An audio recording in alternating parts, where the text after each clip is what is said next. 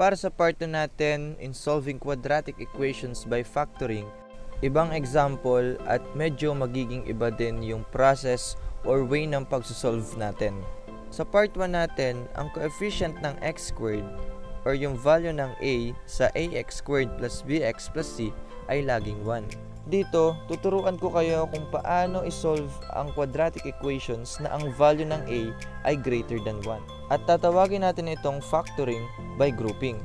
So let's begin with 3x squared plus x minus 4 equals to 0. Ulitin ko, sa pagka-factor, dapat naka-standard form. ax squared plus bx plus c is equal to 0. At dito sa example natin, naka-standard form naman siya. Ang value ng a natin ay 3, b ay 1, at ang c ay negative 4. Ipagmumultiply natin ang a at c. 3 times negative 4 is negative 12. Mag-iisip tayo ng two numbers na kapag minultiply natin, ang result negative 12. At kapag pinag-add natin ay positive 1.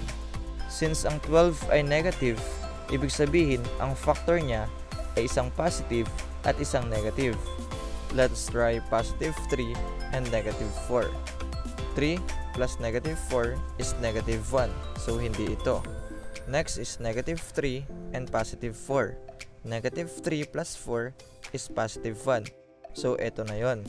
Papalitan lang natin yung middle term natin or yung x ng negative 3x and positive 4x. And will become 3x squared minus 3x plus 4x minus 4. So, ang magiging magkasama ay ang 3x squared minus 3x at 4x minus 4. Ifa-factor natin ang 3x squared minus 3x.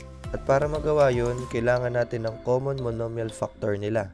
Or kung sa Tagalog, ano ba yung number at variable na meron ang 3x squared at meron din sa negative 3x. Kung iisipin nating mabuti, pareho silang may 3, pareho silang may x. Ibig sabihin, ang pareho sa kanilang dalawa ay 3x. Pero syempre, gusto kong malaman mo ang tamang pagkuha ng common monomial factor. Ilista lang natin yung 3, 3, x squared, and x. Factor niyan 3, 3 times 1. Factor niyan 3, 3 times 1. Factor ng x squared, x times x. Factor ng x ay x times 1 or x na lang. After that, kunin lang natin or i-bring down natin yung magkapareho sa kanila. At yun ang magiging common monomial factor natin. And as you can see, 3x ang nakuha natin. I-divide natin ang 3x squared minus 3x dito sa nakuha nating common factor na 3x para makuha natin ang factor ng 3x squared minus 3x. So 3x squared divided by 3x is x and negative 3x divided by 3x is negative 1. Kung nagdadoubt kayo sa factor nyo, pwede nyong ipasok ulit ang 3x sa loob ng parenthesis. Multiply mo lang yung 3x dun sa x minus 1 at ang magiging result niyan ay itong original natin. Para sa 4x minus 4, kita naman natin isa lang ang may x sa kanila. So, ibig sabihin, 4 lang ang common factor nila.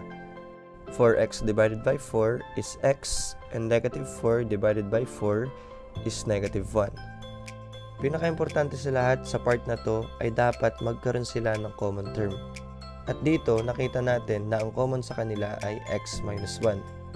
Kung hindi nagkapareho yung mga numbers na nasa loob ng parenthesis, ibig sabihin may mali tayong ginawa.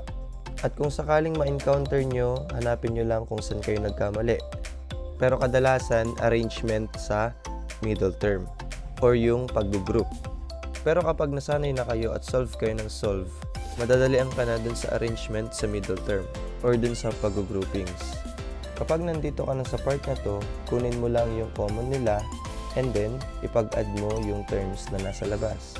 At ito na yung magsisilbing factor natin sa quadratic equation natin. At para sa roots or solution set natin, gamitin lang natin yung zero product property x minus 1 is equal to 0 and you will add both sides by 1 and x equals to positive 1.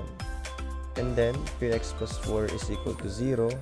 Subtract both sides by 4 and this will become 3x equals to negative 4 and we will divide both sides by 3 and we will get the value of x equals to negative 4 over 3.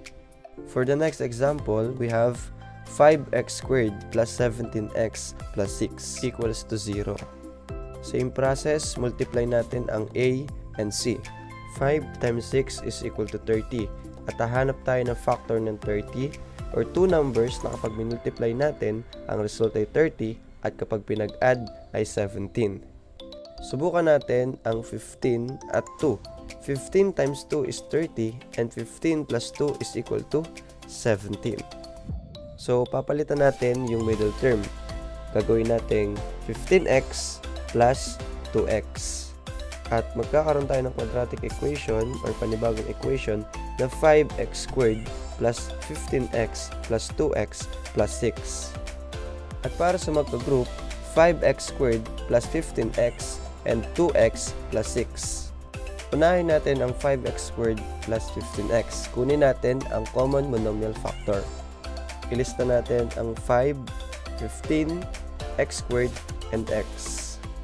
Factor ng 5 is 5 times 1. 15 ay 3 times 5. Sa x squared ay x times x at x ay x times 1. I-bring down natin yung mga magkakapareho nila at yun ang magiging common factor natin. And as you can see, magkakaroon tayo ng common monomial factor na 5x. And let us divide. 5x squared divided by 5x is x and 15x divided by 5x is 3. Next is 2x plus 6. Okay, hindi na natin ililista ang variable dahil isa lang ang meron diyang x. Okay, ang ililista lang natin ay numbers which is 2 and 6. Factor ng 2 ay 2 times 1 at ang 6 ay 2 times 3. So, ang common nila ay 2. So, ibig sabihin, 2 ang common monomial factor. And let us divide. 2x divided by 2 is x and 6 divided by 2 is 3. Kunin natin yung common nila which is x plus 3 at ipag-add natin ang 5x and 2. At ito na ang magiging factor natin para sa quadratic equation natin na 5x squared plus 17x plus 6. And to get the value of x, gamitin natin ang ZPP or zero product property. x plus 3 is equal to 0, subtract tayo both sides ng 3, and x equals to negative 3. Next is 5x plus 2 equals to 0. Subtract tayo both sides ng 2 and we will get 5x equals to negative 2.